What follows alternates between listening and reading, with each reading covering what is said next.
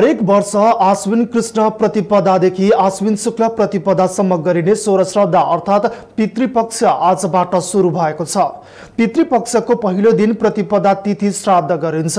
आश्विन कृष्ण प्रतिपदादेखि आश्विन शुक्ल प्रतिपदासम्मका सोह्र तिथिमा दिवंगत पितृलाई सम्मानका साथ तर्पण सिद्धादान र पिण्डदान गरिने भएकाले सोह्र श्राद्ध भनिएको हो। सक्नेले यस पक्षका सोह्रै तिथिमा श्राद्ध गर्नुपर्छ। यो समयमा श्राद्ध नगरे दोष प्रत्यावाय लाग्ने शास्त्रमा उल्लेख छ। आश्विन कृष्ण पक्षलाई महालय अपर पितृ र प्रेत पक्ष पनि भनिन्छ।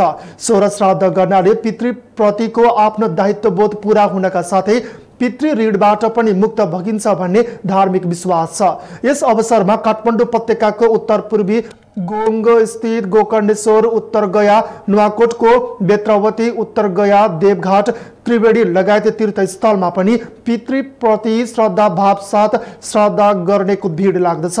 सोह्र श्राद्ध सकिएपछि बडा दसैँ सुरु हुन्छ।